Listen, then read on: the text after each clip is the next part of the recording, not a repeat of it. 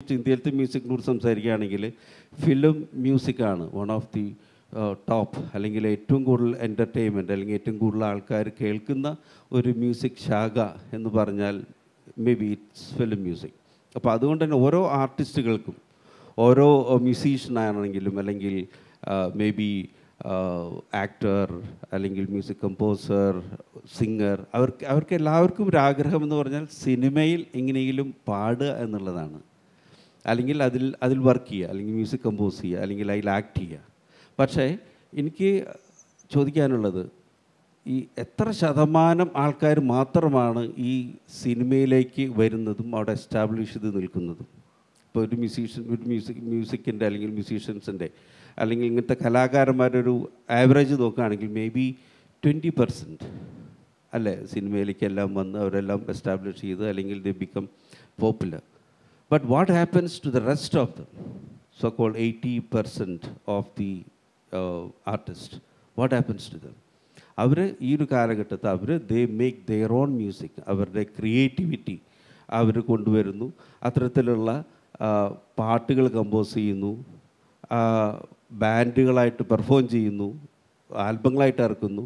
പക്ഷേ നമ്മുടെ ഇന്നത്തെ സാഹചര്യത്തിൽ എനിക്ക് തോന്നുന്നത് സ്റ്റീഫൻ ഇതൊക്കെ ഈസ് ഇറ്റ് നോട്ടീസ്ഡ് അല്ലെങ്കിൽ അതിന് വേ കിട്ട കിട്ടേണ്ട ഒരു റെക്കഗ്നീഷൻ അത് അവർക്ക് കിട്ടിയിട്ടുണ്ടോ എന്നുള്ളതാണ്.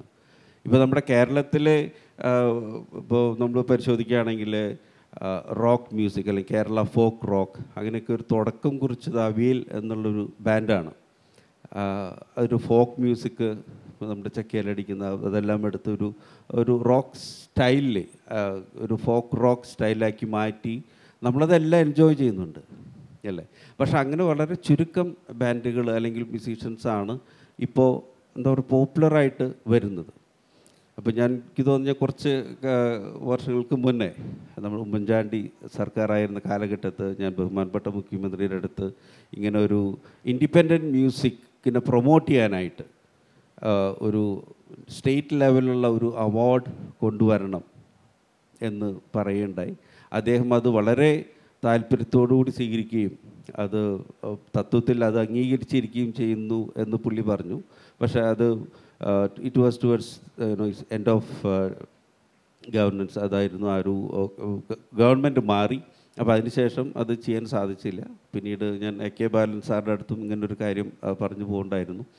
പക്ഷേ ഞാൻ പറയാൻ കാരണം ഇങ്ങനത്തെ അവാർഡ്സ് അല്ലെങ്കിൽ ഇത്തരത്തിലുള്ള റെക്കഗ്നീഷൻ കിട്ടുമ്പോൾ മ്യൂസീഷ്യൻ അത് it will help the independent മ്യൂസീഷ്യൻസിനെ അല്ലെങ്കിൽ അങ്ങനത്തെ കലാകാരന്മാർ ഒരുപാട് പ്രോത്സാഹിക്കും.